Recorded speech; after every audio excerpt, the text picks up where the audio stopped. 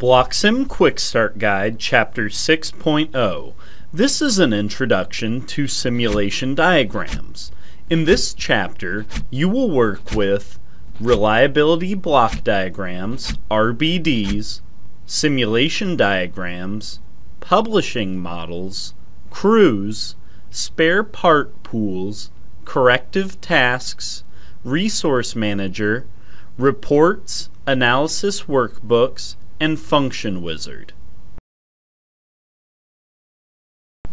You may choose to pause during the video if you need more time to comprehend the materials. In contrast to analytical diagrams, simulation diagrams can take into account repair and restoration actions, including behaviors of crews, spare part pools, throughput, etc.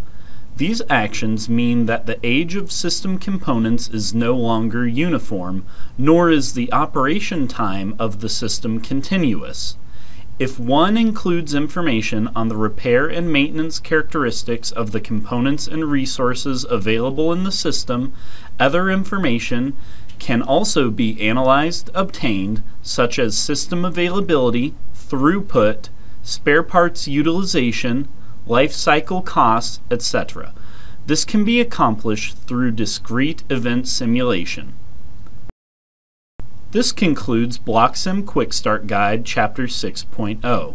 Please proceed to any of the software examples at your discretion. Thank you for watching.